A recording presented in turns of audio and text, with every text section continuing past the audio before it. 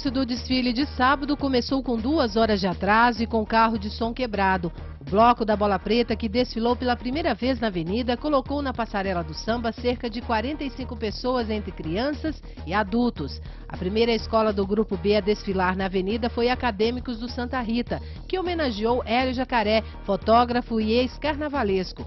Já a Escola Acadêmicos de Vila Rica mostrou o mundo mágico do circo e cerca de 150 integrantes desfilaram. Este ano, a ESB decidiu que as duas escolas que pertencem ao Grupo B vão subir para o Grupo a partir do ano que vem e o Grupo B não vai mais existir. A primeira escola do Grupo A a desfilar na Avenida Francisco Sales foi Amigos do Casca, que falou da música e homenageou o coral Camargo Guarnieri, da maestrina Valderez Medina.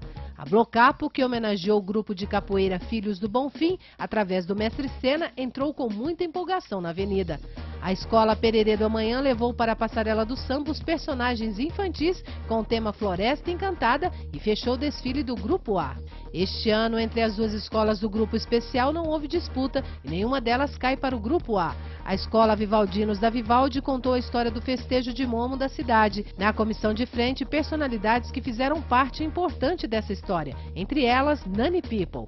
Já Sacipô, antes de entrar na avenida, cantou Ave Maria ao som do cavaquinho. Sacipô este ano homenageou as mulheres. Na segunda-feira de carnaval aconteceu a apuração das escolas de samba. Acadêmicos do Santa Rita ficou em segundo lugar com 346 pontos. Acadêmicos de Vila Rica comemorou a vitória e obteve 409 pontos. Do grupo A, Amigos do Casca ficou em terceiro lugar com 379 pontos. Com 402 pontos, a escola de samba Blocapo, que homenageou o mestre de capoeira Antônio Carlos Sena, o mestre Sena, ficou em segundo lugar.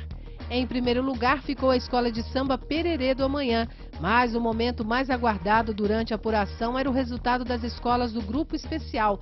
A Vivaldinos da Vivaldi atingiu 409 pontos. O título de campeã do Carnaval de 2012, mais uma vez, foi para a escola Sacipô. Durante a operação de carnaval realizada pela Polícia Militar, um maior e dois menores foram apreendidos com 116 pedras de crack e duas porções de maconha.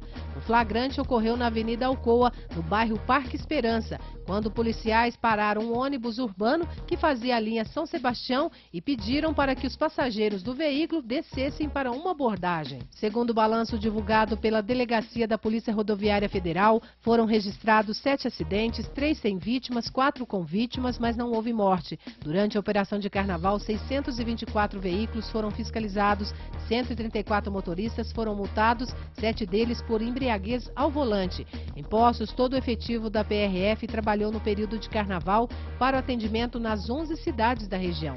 Este é o segundo ano consecutivo que não há registro de mortes neste período do ano. Durante os quatro dias de carnaval, a Polícia Militar apreendeu vários veículos que estavam estacionados de forma irregular na cidade. Desta vez, o número ultrapassou o normal. Só no pátio autorizado pelo Detran, do dia 17 até a madrugada de segunda-feira, 54 veículos foram guinchados. Em janeiro deste ano, estavam no pátio cerca de 490 veículos. Os motoristas só conseguiram resgatar os veículos na quinta-feira após o carnaval.